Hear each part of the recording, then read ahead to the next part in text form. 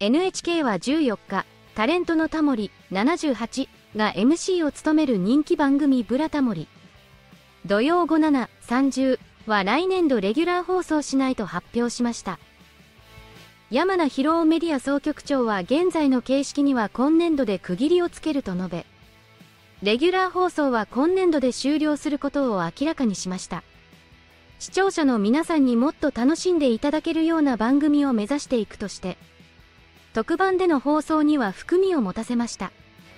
街歩きの達人、タモリがブラブラ歩きながら、知られざる街の歴史や魅力、人々の生活に迫る看板バラエティ番組は、9年10月に第1シリーズがスタートしました。8年12月のパイロット版を含め、12年の第3シリーズまで久保田由香アナウンサーが初代を務め、15年1月のパイロット版では手動なチコアナウンサーが2代目アシスタントを務めました。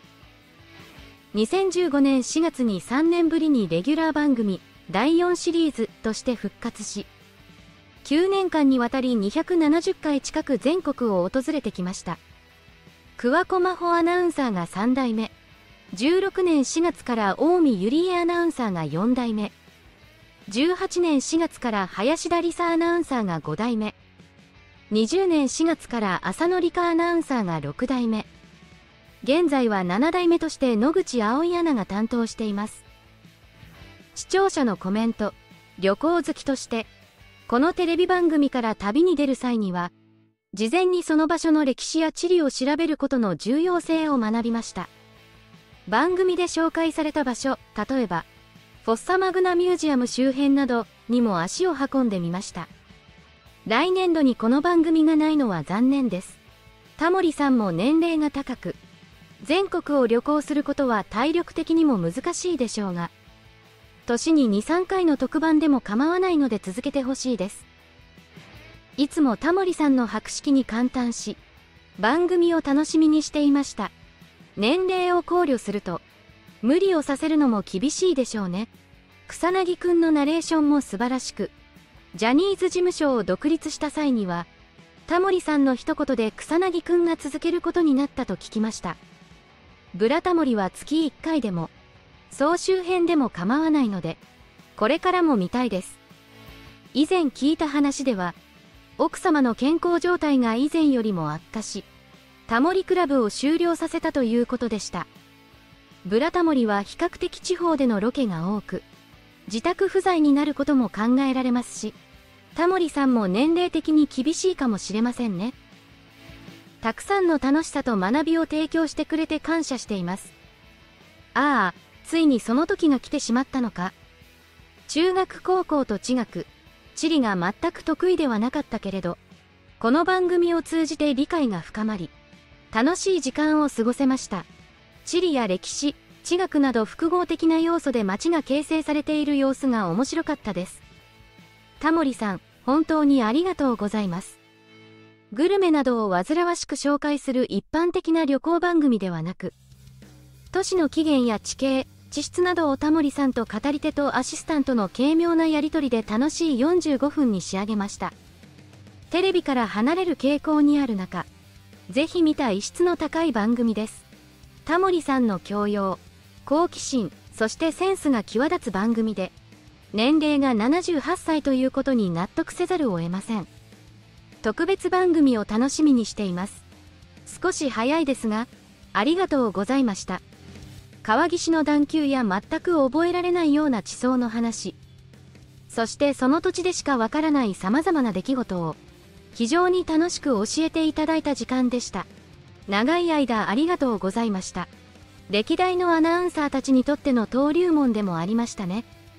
時間があれば特別番組か再放送などお願いします。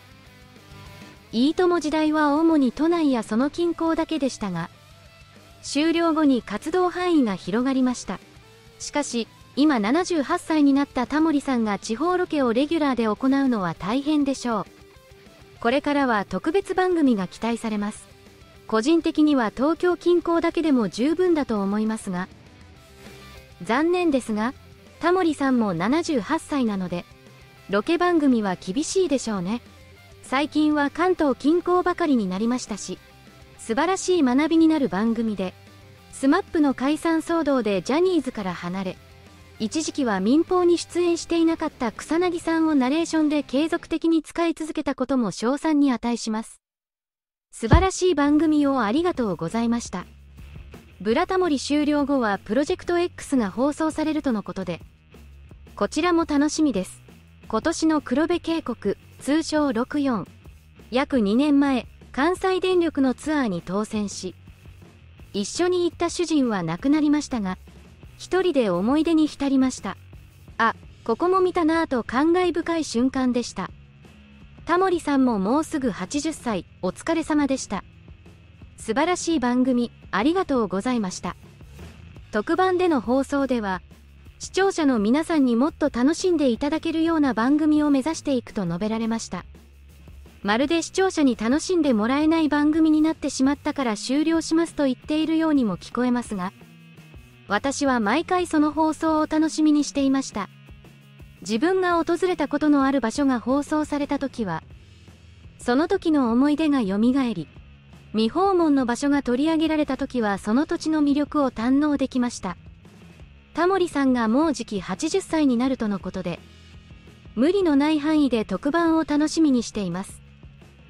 負担が大きいことは理解できますが、完全に終了するのは非常にもったいない番組です。月1回や2ヶ月に一度でも続けていただきたいです。三輪さんの愛のモヤモヤ相談室のように、月1回の放送にしてはどうでしょうか。そうすることでタモリさんの負担も軽減され、より濃密な内容を提供できるでしょう。まだまだ全国にプラタモリのネタはたくさんあります。美の壺のように深く掘り下げてもらいたいです。一番好きな番組と言ってもいいくらい、私はそのファンで、簡単に言えば寂しい気持ちです。いつもタモリさんの博識ぶりに感心し、街の成り立ちの面白さも知りました。特別番組として続けていただけると嬉しいですが、タモリさんには無理をしてほしくないなぁとも思います。この日がいつか来るだろうと思っていました。タモリさんも高齢で、全国をブラブラするのは難しくなってきたのでしょう。まあ、まだタモリさんは健在ですから、特番を楽しみにしましょう。最近、タモリさんが亡くなったらとても悲しいことに気づき始めました。タモリさん、長生きしてね。お願い。みんなが忘れているかもしれませんが、タモリさんは以前、いいともの生放送があるために長期ロケができず、昔は東京近郊しかぶらりしていなかったんですよね。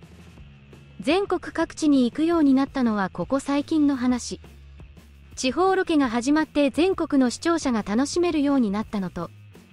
火山や終局などダイナミックな地形も扱うようになりましたが、東京近郊に限られていた時代は普段見落とされがちな美地形に焦点を当てていて、これはこれで面白かった。今の体制での放送が難しいのなら、昔のように東京近郊の深掘りでも構いませんから続けてほしい。